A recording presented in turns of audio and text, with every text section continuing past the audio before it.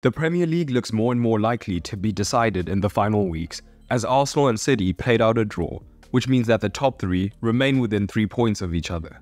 But how did both managers look to win this tactical encounter? Let's take a look starting with City who dominated the ball. Arsenal, as they tend to do, defended in a 4-4-2, with Odegaard joining the centre forward. And in most matches, their 4-4-2 tends to be quite aggressive, with the forwards looking to press the centre backs and the pivots looking to back this up. And Arsenal did occasionally press like this in this match, but that was a rarity. This is because Pep is aware of Arsenal's 4-4-2, and if they had been this aggressive, it would have been fairly simple for City to overload them in the midfield with their usual box.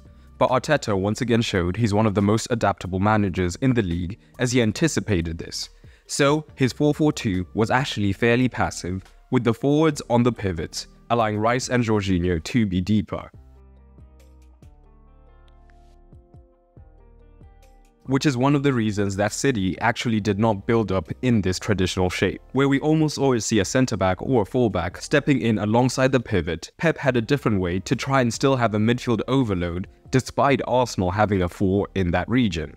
And that began with both Akanji and Gvardiol operating as more traditional fullbacks, with Kovacic deeper alongside Rodri as the second pivot. With no press, City did not need a third man in the backline for most of the match, so Gvardiol and Akanji could both provide the width, allowing both Foden and Silva, who are perfectly happy to operate as midfielders, to push into the centre and try and create a 5. And this would then allow either Foden or Bernardo Silva to step in at times to create a 3 versus 2 in this first phase, allowing City to then begin to progress up the pitch.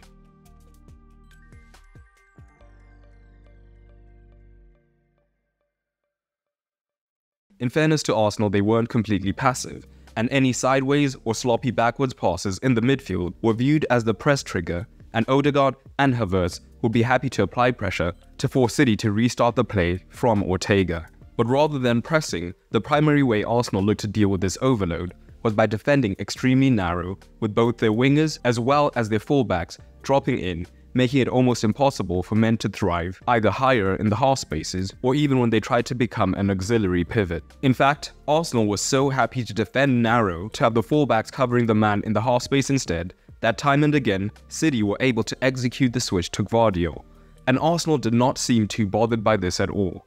Firstly, rather than immediately cross, Gvardiol would look to cut back and find a safer pass. In addition, he's not the best crosser, and even if he did get the cross, Haaland is the only aerial threat and often found himself 2 versus 1 down in the box.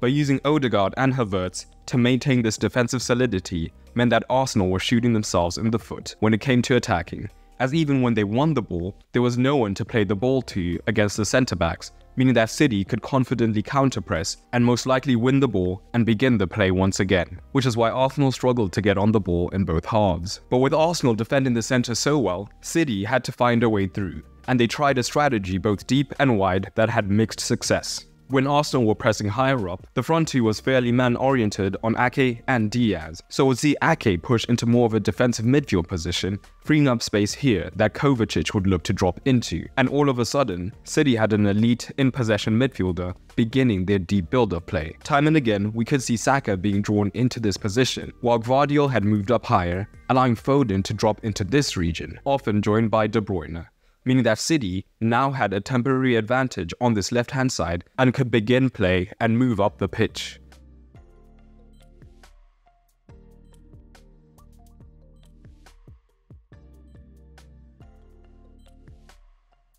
Similarly, high up the pitch, Kovacic once again dropped into the left centre-back position and City's midfield could take up a variety of shapes to still maintain the double pivot. With White being narrow looking to prevent any play into the half space, would be Saka who would be drawn into this region, again freeing up space down the left. But City was suffering as Arsenal was so content to let Gvardiol have the ball that these overloads rarely made a difference. And that is why Pep had to make a change. Lewis came on for the injured Ake, whilst Grealish and Doku also took to the pitch, and Pep changed his shape, with Lewis often being the secondary pivot alongside Rodri, often assisted by Silva, who could now operate even deeper as Doku was the right winger. At the same time, Gvardiol was now more often in this position as City operated with a very aggressive back three, with Akanji and Gvardiol very happy to push up into the middle and final third. What this now meant is that City would still have significant numbers in central regions, meaning that if Arsenal was still trying to defend just as narrowly, now City had two much more dangerous wide men who could get onto the ball. And down the left, this meant that White was dragged out much more often rather than just worrying about the man in the half space. And this could then potentially drag out a centre back, leaving Haaland with the opportunity for a potential 1 versus 1, a much more favourable situation.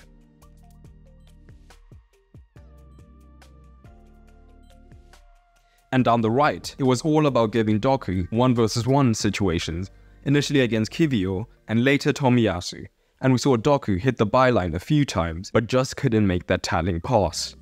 But what were the Gunners doing in possession? Much like City, Arsenal built with just the two centre backs, which would draw the front two of City in Haaland and De Bruyne into the press. And this would at times force Arsenal long, as we saw them much more willing to do in this encounter. But the alternative to this was inviting Raya into the play and creating a wider back three.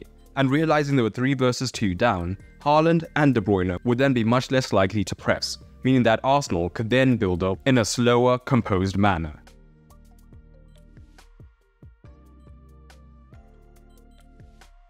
And Arsenal did have a lot of early success against City's 4-4-2, as Foden initially would be on White.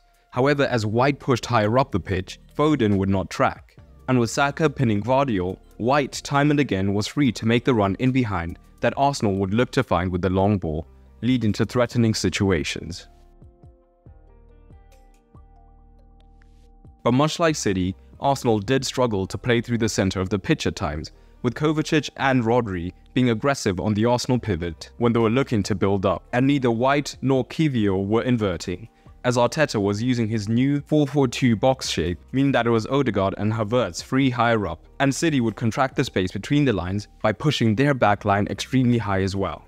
This did come with some risks, as Havertz was looking to make the runs in behind, but never came to fruition.